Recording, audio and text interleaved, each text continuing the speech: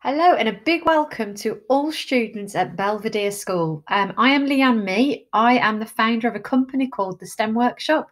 So I run workshops that links uh, learning to science, technology, engineering, and maths.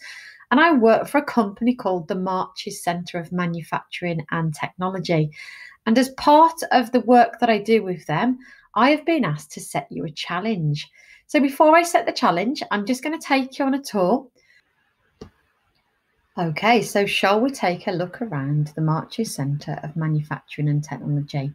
So, the Marches Centre of Manufacturing and Technology is an employer led training facility.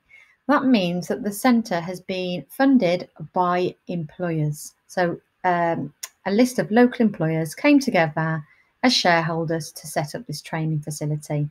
So, when the facility was set up, £5 million was invested in this facility in Bridgnorth and the facility over in Shrewsbury. So the centre trains people and gives them the skills needed to carry out a range of roles within engineering and manufacturing. So the purpose of the centre is to train local employers. So if you wanted to train within this centre, you would need to apply for an apprenticeship role with one of our local employers. And there are a range of different roles in which you can explore.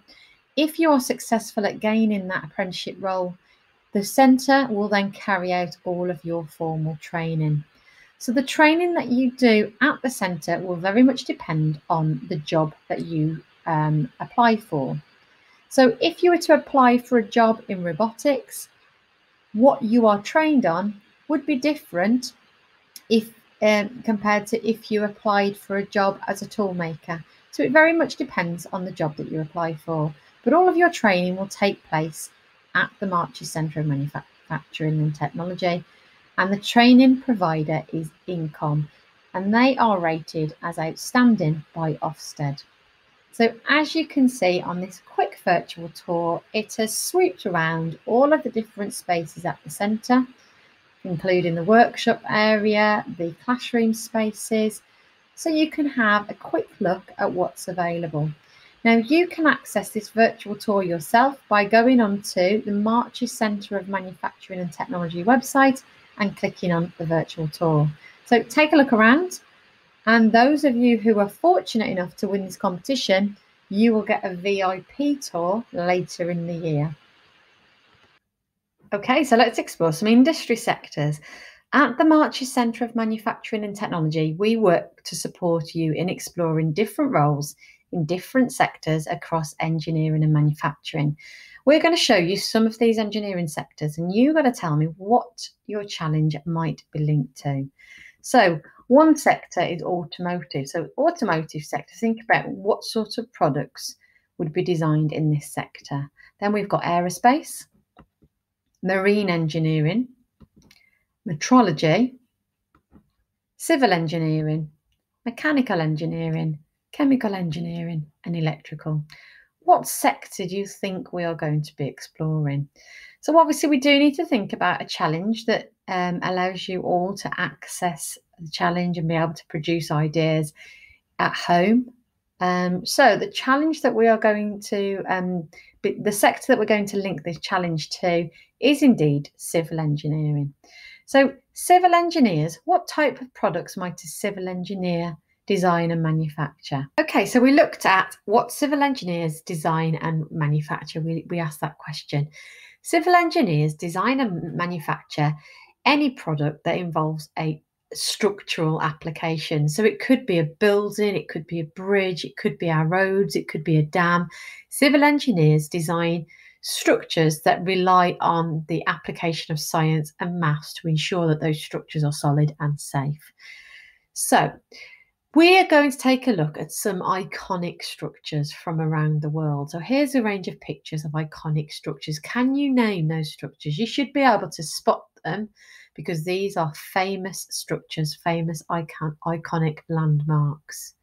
Now, which building from those images is based here in the UK. Can you spot it?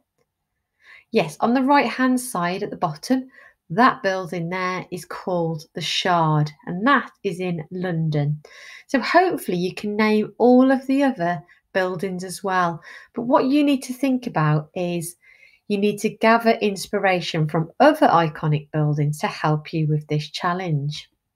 So here is your challenge. We would like you to develop an idea for a new famous landmark.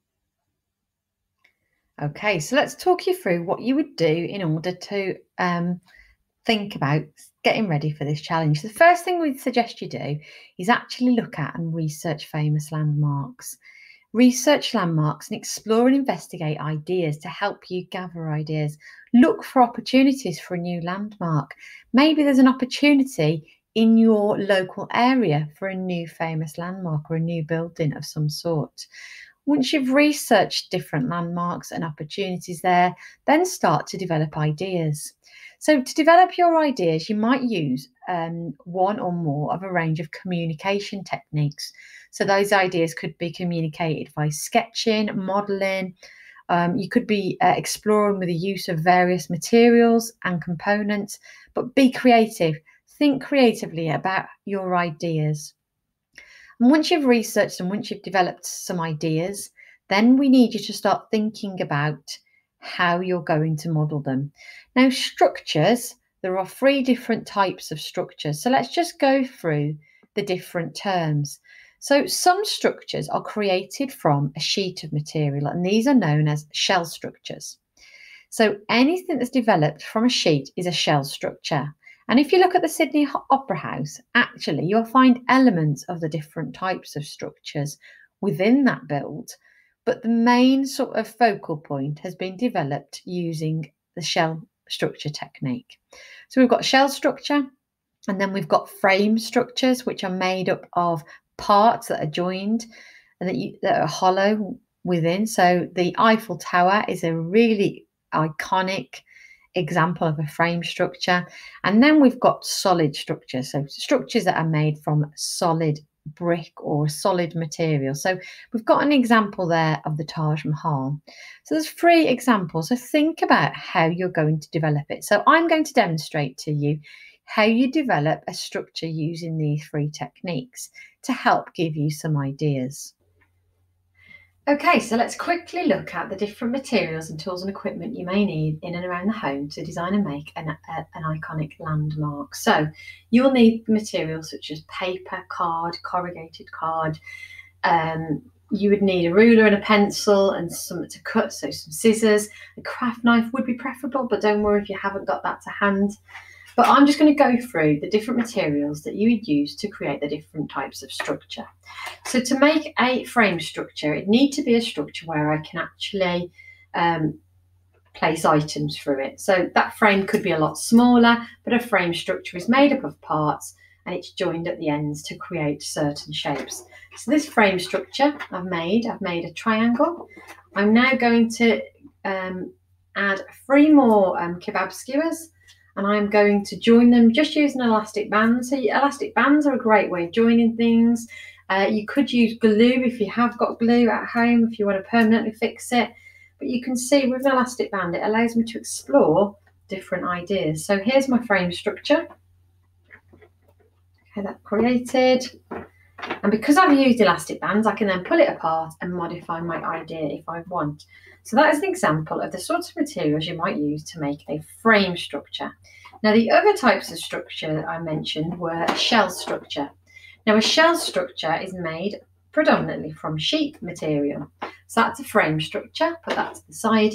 And then shell structures are made from sheet material. So it's a sheet of material that is manipulated to create a three-dimensional sh um, shape. So I could use a shell structure on top of that frame structure.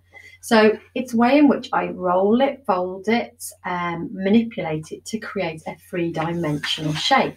So here's a piece of paper and all I've done is measured a line here, I folded it and that would give me, if I fold over the top, a frame structure. That structure could be um, could stand like that, or we could stand on its side. Okay, but it is a way of creating um, structures out of sheet material or parts of structures. So that is predominantly a shell structure, a frame structure, and then we mentioned solid.